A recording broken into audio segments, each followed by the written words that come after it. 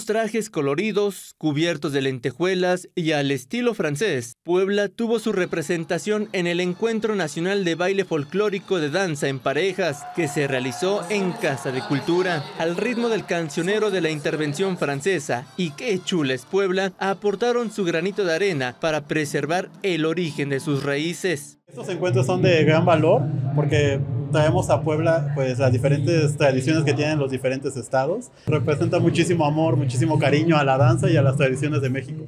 Con las diferentes combinaciones de zapateado, animaciones a lo largo de la coreografía, jóvenes universitarios hicieron énfasis en el rescate, investigación, divulgación y difusión de la danza étnica y de tipo histórico. Eh, la verdad es de que las costumbres y tradiciones son totalmente importantes y no solo para la gente grande.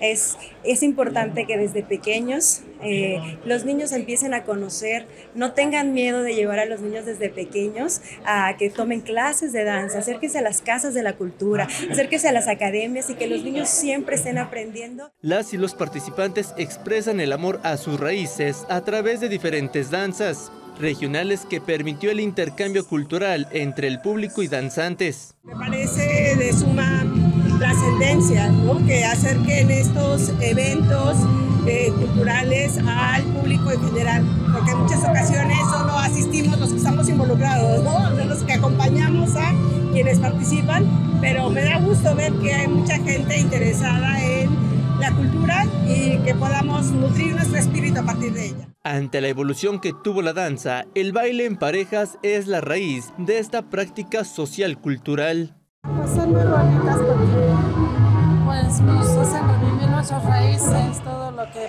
se vivía antes, es muy bonito. Sí, la juventud que es este, pues tienen esa habilidad de bailar, tienen esa capacidad y la energía para proyectar estas nuestras raíces. Puebla, Campeche, Baja California, Ciudad de México, Sinaloa, Veracruz, Nayarit fueron algunas delegaciones que participaron en este evento que reunió a decenas de familias. Con imágenes de Carlos Alberto Arias, para SICOM Noticias, David Portillo.